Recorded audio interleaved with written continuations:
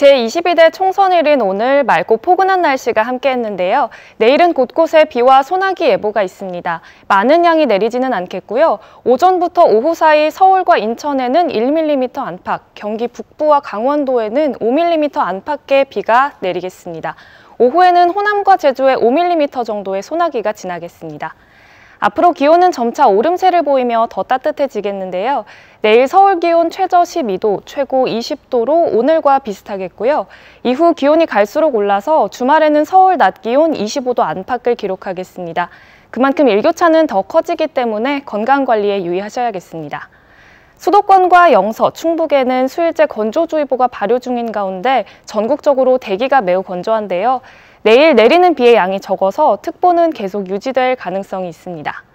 이어서 자세한 내일 기온입니다. 전주와 대구 한낮에 21도 기록하겠고요. 인천 아침에 11도, 한낮에 18도 예상됩니다.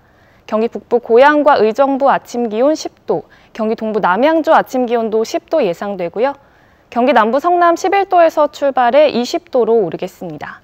서해상에는 당분간 바다 안개가 끼겠습니다. 주말까지 대체로 맑고 포근하겠고요. 다음 주 월요일에는 전국에 비 소식이 있습니다. 날씨였습니다.